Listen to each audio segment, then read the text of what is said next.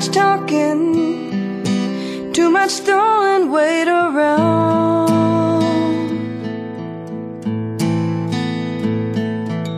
too much affection, and too much laying it down.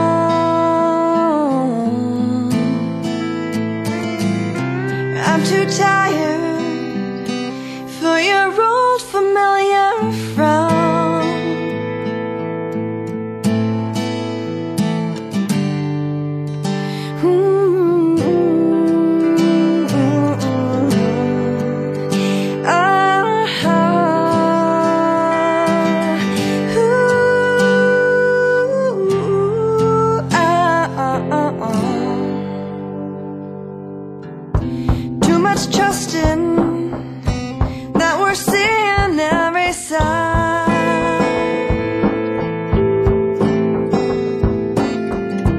Too much trust can damage anybody's pride.